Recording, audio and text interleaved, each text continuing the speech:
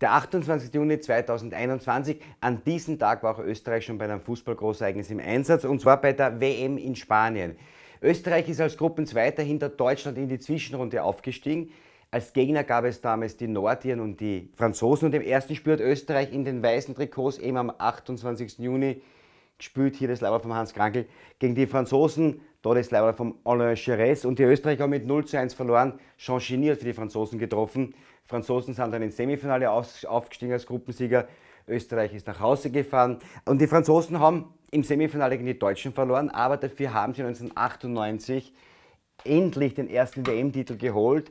Und zwar auch am 28. Juni gespielt, 1998 im Achtelfinale gegen Paraguay. Und das war ganz, ganz eine mühsame Partie für die Franzosen, weil die Franzosen haben 0 zu 0 nach 90 Minuten erhalten können und in der Verlängerung hat nachher der Laurent Blanc mit dem Golden Goal die Südamerikaner aus der WM geschossen, Frankreich bis ins Finale kommen, danach der legendäre Sieg gegen Brasilien und die Franzosen sind auch bei dieser Euro nach wie vor mein ganz, ganz großer Favorit.